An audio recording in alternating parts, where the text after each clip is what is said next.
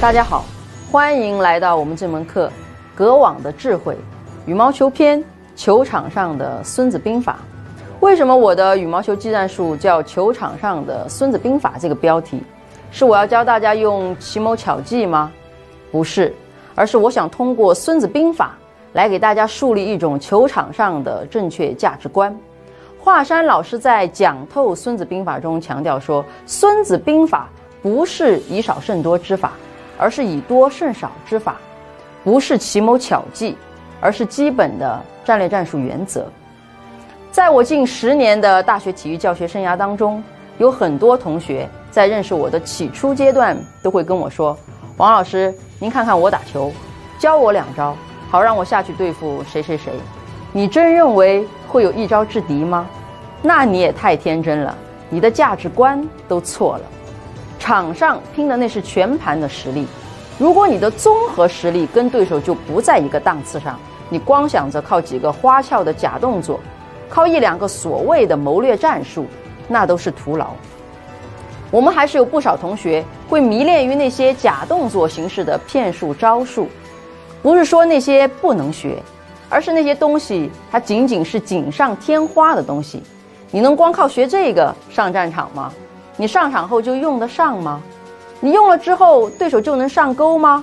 即使对手上钩了，你就能赢下整场球吗？所以，《孙子兵法·计篇》中的“计”，它首先不是计谋的“计”，而是计算的“计”，是敌我双方力量的 SWOT 分析法。所以，让你在场上打球多动脑钻研，并不只是让你在场上多用计谋。计谋也只是在执行过程中的一些办法手段，而提倡更重要的是让你学会多计算。这个计算的含义是指从你上场比赛之前，在得知对手是谁之前，你就已经在做准备了，收集对手的打法特点、不足弱点等等相关信息，再根据自己的优缺点来进行赛前的战术布局。比赛开始了第一局。我准备的是什么战术？到十一分间歇，到一局结束，战术实施的如何？有没有效果？如果今天对手打我的战术有变化，我该怎么办？我是否需要多准备两三道战术来应对？临场是会需要应变能力，但真正的高水平选手，大部分的工作已经在前期做好了预算、安排布局。这个前期工作。除了指赛前，更指的是你平时长期的扎实积累。所以，我要把《孙子兵法》的思想借鉴到球场上来，就是要跟大家一同树立正确价值观。就像华山老师说的，学兵法，首先你要认识到四个字：兵法无用。也就是说，你知道再多的战略战术，精通再多的兵法，如果你的综合实力不行，那都是没用的。明摆着打不赢的球，你不可能靠战略战术去反败为胜。有了能力、技术再谈战术，那才是如虎添翼。如果脱离了技术、能力等等，光谈战术，那都是纸上谈兵、空中楼阁。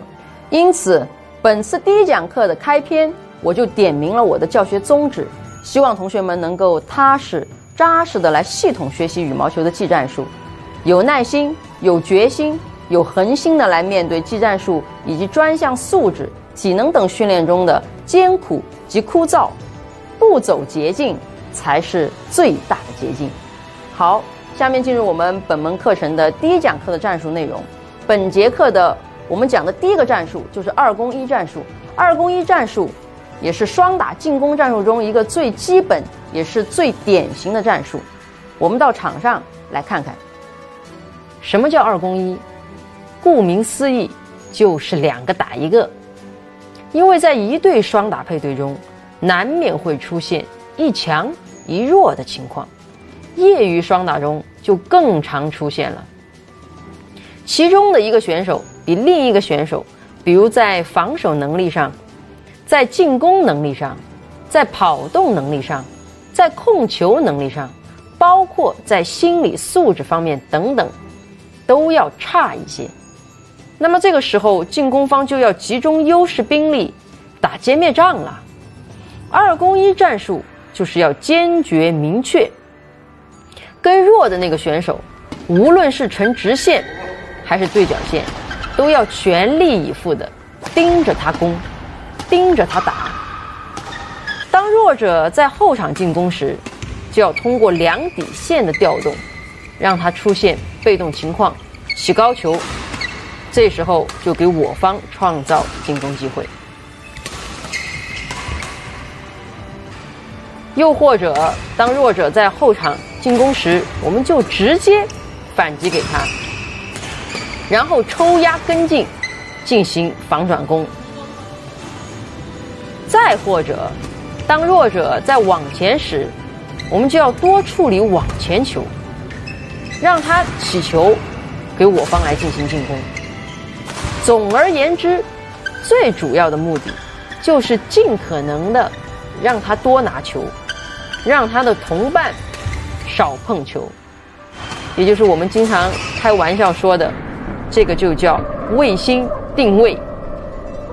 而且这一战术还能体现出《孙子兵法》中的另一个标准战例，叫围点打援。兵法上叫做我包围一个点，他的同伙就会派援军来救他，然后我在援军来的路上设一个埋伏，把援军给打掉。这就叫攻其所必救，我去攻打一个他必须要救的地方。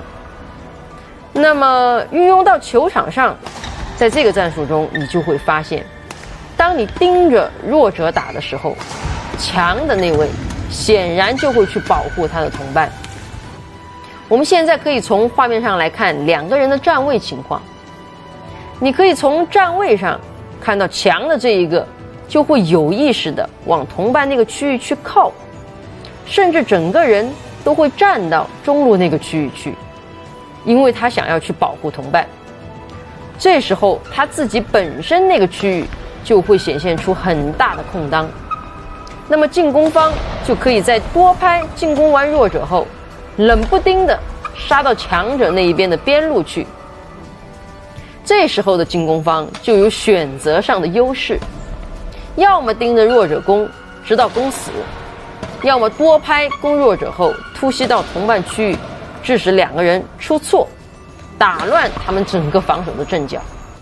至于攻弱者该怎么攻，攻哪些点位，攻多少拍之后可以适当的突袭到强者那边去，就需要我们根据观察对手的具体情况，来做进一步的线路安排。这些我们在后续的学习中再来展开探讨。我们这讲课的内容就到这里，同学们有什么想要探讨的地方可以留言，期待与你探讨。我们下讲课再见。